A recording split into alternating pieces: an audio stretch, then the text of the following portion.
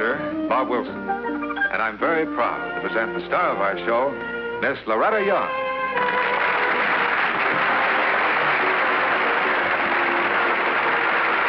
Hello. Oh, my, it's nice to be back with you again. You see, my husband and I sneaked in a little vacation.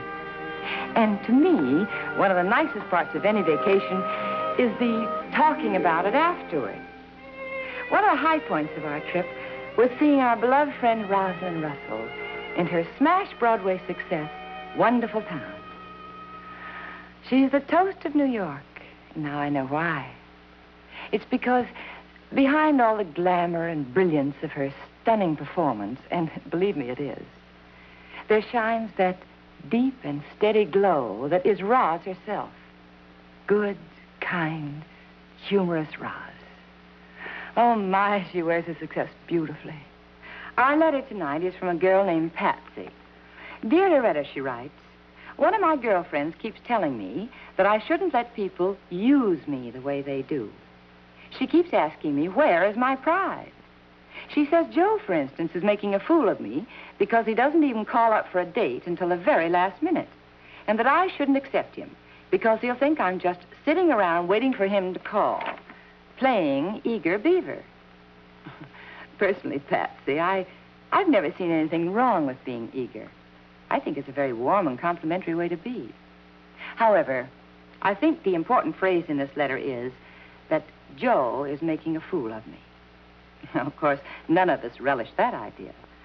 However, let's not jump to conclusions. First, I want you to meet some people, and I want you to notice the man particularly, because I think that he has the right attitude about this. And I'm going to let him tell it in his own words. Well, it was this way. I was just walking along aimlessly, killing time in a strange town. Some of the scenery was first rate.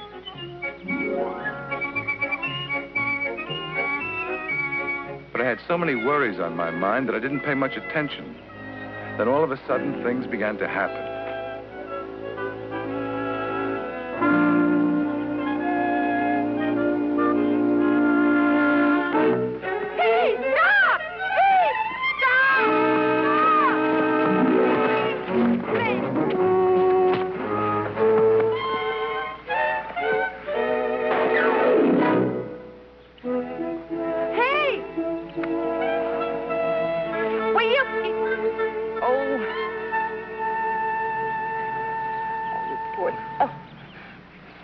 Did that, that tramp get away? yes, yes, he got away, but it's all right, don't worry. There wasn't anything valuable in my bag anyway. Now I find out. Here, let me help you up. You know, next time you better let me do the fighting and you watch, ah, huh? Comedy, that's what I need. Plenty of good comedy. You're hurt. How could you tell? Well, listen, you better come back into my house and rest for a little while. It's right down the road here. Come on, I'll help you. Up you go.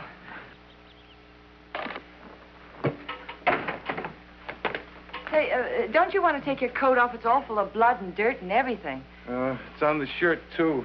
Oh. Uh, okay? Huh? Okay, oh, if I yes. take the shirt? Yeah, sure. Take it off. You'll be more comfortable. I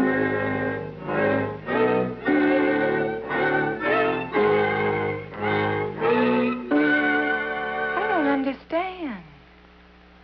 You're a powerhouse. And yet that little tramp beat you up and got away without a bruise on him. Yeah. You're forgetting one thing. You're forgetting his knuckles. Huh? I'll bet his knuckles are bruised something fierce. I'd rather not talk about it. Yeah, yeah, but I don't understand. I mean, you're such a big I fella. can see I'm not that- going to have a choice. I did a lot of unsupervised weightlifting when I was a high school kid. Oh? It made me muscle bound. Oh, Muscle bound men are too slow and clumsy to be any good in the scrap. is that so? Furthermore, I, got a glass jaw. Ah. Gee, it must be embarrassing getting beaten up by smaller men all the time, huh? It is embarrassing. That's why I'd rather not talk about it. Oh, well, I'm sorry. I'm sorry. What do you want to talk about, huh? Well, the, the shirt and coat. You think there's any chance of getting the blood off them?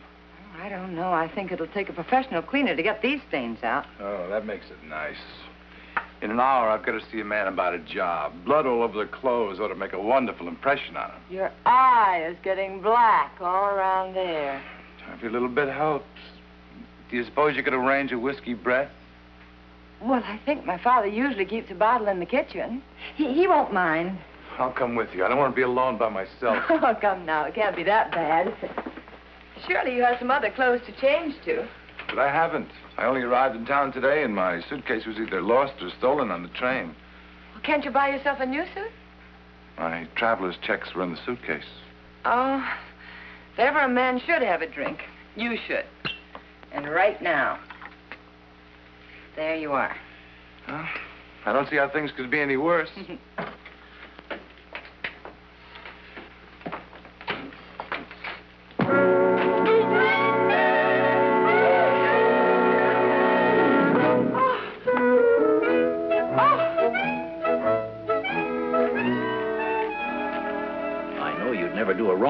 wrong thing, Kay, but imagine how I felt. Oh, Dad. seeing this- Daddy's coming, too. Here, let me help you up.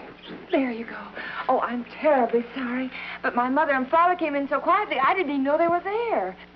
I want you... Say, what is your name? Uh, Stone, Walter Stone. Oh, well, this is my mother, and this is my father. This is Walter Stone. I'm, uh, I'm pleased to meet you, Mr. Stone. Are you all right? I'm fine. Never felt better. I guess there's still plenty of life in the old boy, Edna. I must be twice his age, but I knocked him out with a single punch. Oh, Dad, you wouldn't have knocked him out except he's got a glass jaw. Well, I didn't hit him in the jaw, I hit him in the back of the head. All right, so it's turning out I've got a glass head, too. And I'll be running along now, unless your wife would care to go a few fast rounds. Well, you don't have to be so bitter about it, Mr. Stone. Anyone having the kind of day I've been having has got a right to be bitter. You come right back here and sit down right there and relax. Dad, you're going to want to help this young man when you find out his problem. I just sat there, too numbed even to think, while Kay told her folks my troubles. Then finally, Mr. Stone? I say, Mr. Stone, oh, huh? what kind of a job are you after? I'm a newspaper man. What's the matter? I can't help it. It sounds so funny. A muscle-bound obituary editor. Mother. Do you think I should uh, try another line? Prize fighting, maybe? no. I came here because I understand there's an opening on the local paper. There is? Well, Pat Moore, the publisher's a friend of mine. Oh, I'll tell you what. You march right down there and tell Pat Moore I sent you. He'll give you the job. is he supposed to march right down there looking like that? Dad, you're almost as big as Mr. Stone, and you've got plenty of suits. Now, see here, young lady. That's I'm a wonderful idea, Kay. You know, I think your gray gabardine would look fine on Mr. Stone. Well, I don't. and No, I think the brown tweed is better for him. I will Mr. not lend him a suit. Let's go upstairs and see what we can You hear me? I will not lend him a suit. short for you, but other than that, it'll be all right. Oh, rats.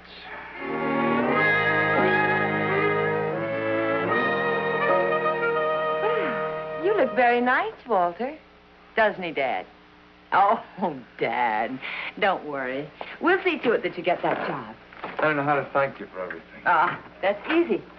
Just drop by the house tonight after dinner, huh? You want me to call on you? Sure. Oh, I mean, you've already seen the gravy stains on my shining armor. Nonsense. I think you're cute. Cute. Mm-hmm. 8.30 then? Okay. Fine. I'll see you later. It didn't make any sense. A beautiful girl like Kay Coughlin interested in an overgrown slob like me. But that was just the first surprise. The second surprise came after I'd landed the job, eaten a beanery dinner, and returned to Kay Coughlin's home. The all up and looked at him good. Very funny. Very funny. You must be Walter Stone. Kay's told us all about you. I didn't know it was a party. Come on in and meet everybody. I'm Stacey Smith. This is Audrey Shaw. How do you do? Hello. Marshall Milliner, Hello, Walter. How do you do? Kenny Bruckner, Hello. Hello. and last but not least at all, Kay's big moment, Paul Boston. Oh, pleased to meet you, Stone. I want to thank you for rescuing Miss Coughlin this afternoon. Huh? I say I want to thank you for rest. Walter, well, I'm so glad you could come. Uh, would you like to dance? This is my favorite record. oh, here, let me put your hat over there. What, what, what's all this about? Uh, my rescuing you? Oh, well, I- it occurred to me that you wouldn't want everyone to know that you were beaten up by a teensy little tramp. A little, So little, little tramp. Not teensy weensy. It's bad enough the way it is. Well, so I just changed some of the details when I told them about it. In, uh, instead of uh, the tramp knocking me out, I, I knocked him out. Is that it? Uh, you knocked them out. Them? There were three of them. Oh. Well, big fellas? Oh, they were bruises. Well, that'll teach them not to pick on a defenseless girl. Yeah. Oh, ouch. Excuse me. That's all right. Um, oh, Walter, there's a beautiful moon outside. Would you like to come out and sit on the porch with me? Oh, what, what about your boyfriend? Will he object? Well, who cares about him? I do. I've lost enough blood for one day. Say, look, what kind of a coward are you anyway, huh? A bruised, sensible coward. Oh, come on, come on.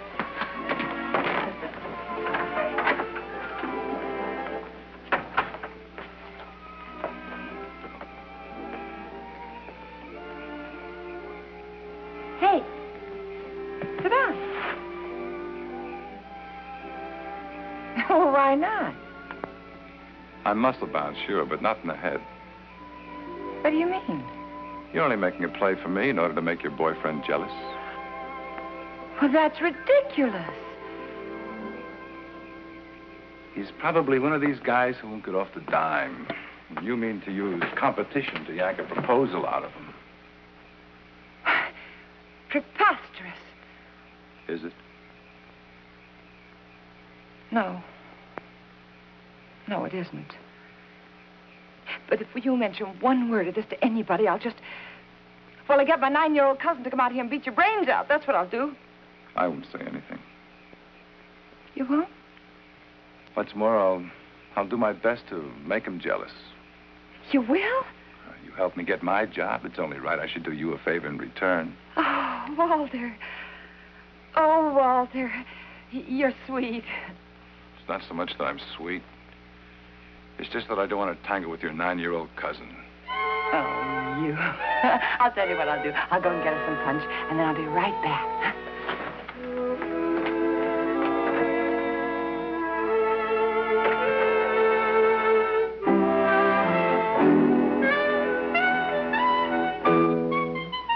During the next week, Kay and I saw each other almost constantly. We'd heard that her boyfriend, Paul Boston, was getting blue with rage. And I guess that's why she was in such high spirits that Sunday when we went on a picnic with her mother and father.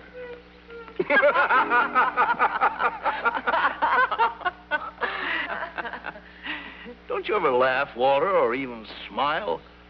When I don't have a split lip, they call me Jolly Wally. When did you last not have a split lip? I don't remember. Must you two always squabble? I'm the only one here he's not afraid of. That's why he's always picking on me. Come on, Laughing Boy. Let's see how you can row a canoe on that lake out there. Remember, those are my slacks you're wearing, so kindly don't drown. I swim like a seal, a dead seal. Come on. You know, you're not fooling anybody, Joe. You're really getting very fond of Walter, aren't you? Nonsense. Though I admit to feeling a little sorry for him. Sorry for him. Why?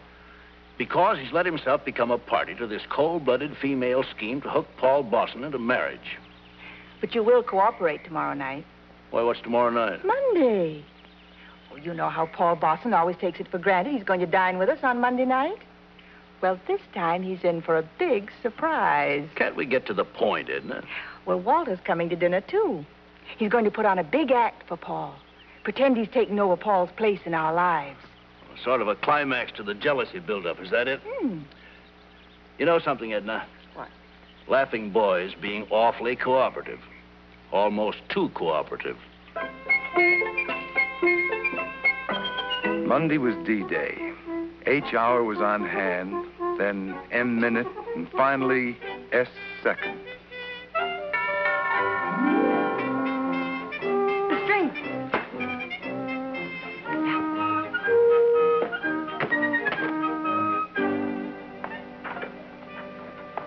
Come in. Come in, Paul. Oh, you. We've been expecting you. Make yourself to home. Oh, hi, Kitty. Oh, Hi, Oh, Paul. why, why, why, why don't you sit over here? thanks. Uh, uh, Mrs. Coughlin will have dinner ready for us in a minute. Won't you, Mother Coughlin? Just two shakes. Hello, Paul. Miss Coughlin? Uh, if you like, uh, Daddy Coughlin will uh, mix a drink for you while we're waiting. Uh, uh, would you like a little something, Paul? No, thanks. I would.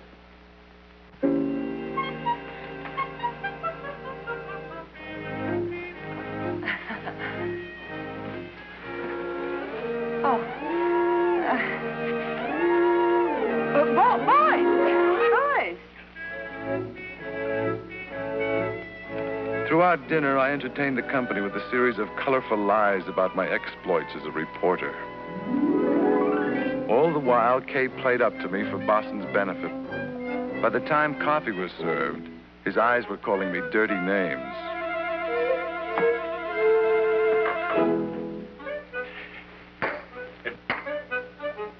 It must be wonderful to be in the newspaper game.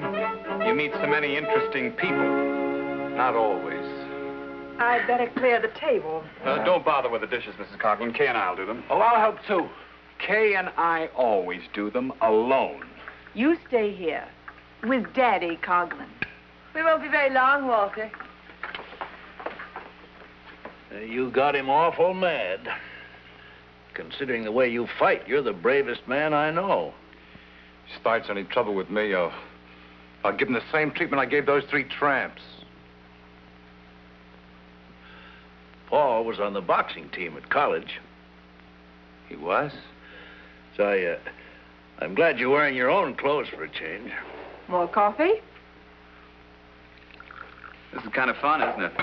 Oh, doing dishes is always a great sport. what I mean is you and I doing the dishes together. Oh,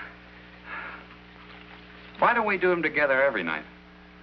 I, I don't have an engagement ring with me, but if you say the word, why, I'll buy one the first thing tomorrow morning. Oh, of course, Paul. Oh, uh, one more thing, Kay. Would you mind telling that lumbering ox out there that you're my fiancé and that he's to stop hanging around you? Uh, yeah. Yeah, I'll tell him right away. Good. Walter, there's something I have to say to you. Do you please step out on the front porch? Sure thing.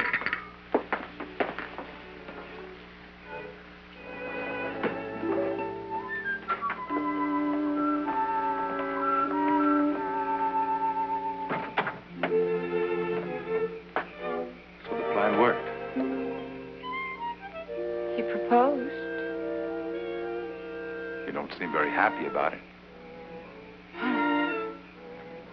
It's the letdown, I guess. I just never took the letdown into consideration. I. Well, you see, I always thought that I'd be the happiest girl in the world if Paul ever proposed to me, and. Well, instead, I. feel as if I'm ready for the poison hemlock.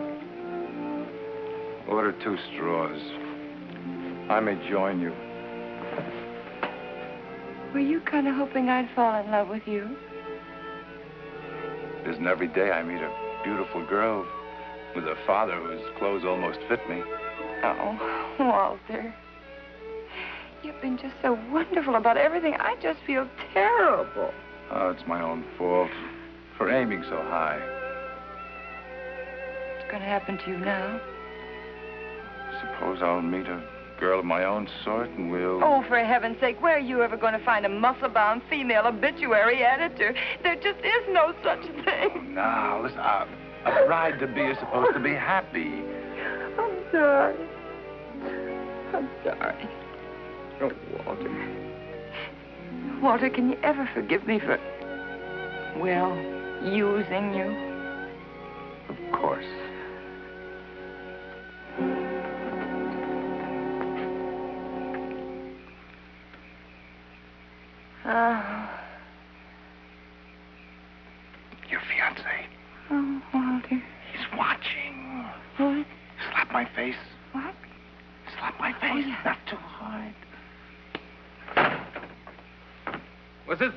Big ape annoying you, Kay?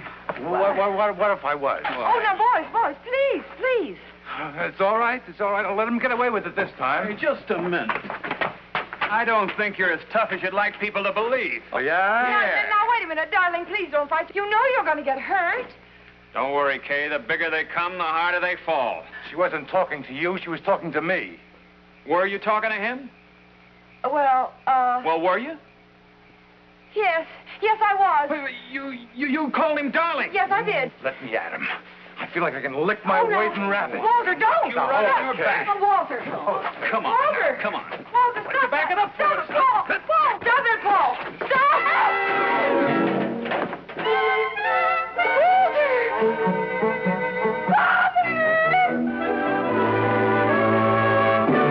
When I came to, Kay was patting my head. Walter. Walter. Ah. How, how did I do? Oh, you were magnificent. He never even laid a hand on you. Oh, What happened to my jaw? It feels as... Oh. Well, well, it was an accident. I couldn't help it. My elbow, it got in the way. Oh, Walter, can you ever forgive me? Well, that depends. Where, where's your fiancé? Oh, he's gone. Gone forever now.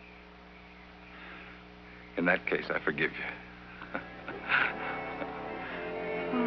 Walter. Look, Edna, he can smile. It's Jolly Wally himself. Darling, will you kiss me again? All right. Uh, be careful of my jaw.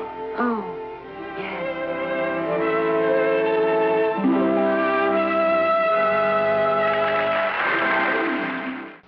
Well, Patsy, see what I mean about Walter? He was no fool. May have looked like one for a little while, but he got the girl. Seriously, though, no one can make a fool of us except ourselves.